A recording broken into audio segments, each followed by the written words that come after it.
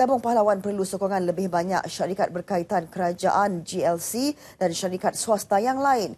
Menteri Pertahanan Muhammad Sabu berkata jasa pasukan keselamatan mengekalkan keamanan membolehkan perniagaan meraih keuntungan dan sepatutnya dihargai. Orang lain yang dapat berniaga dan mengaut keuntungan kerana keadaan negara Malaysia aman dan tenteram.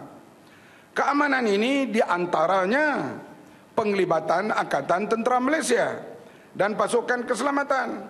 Kalau negara tidak aman, pergilah meniaga di Afghanistan. Sebab itu keamanan penting.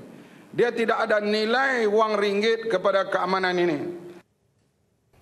Beliau berucap pada pelancaran kempen tabung pahlawan di ibu negara. Hadir sama penaung tabung berkenaan Tun Dr.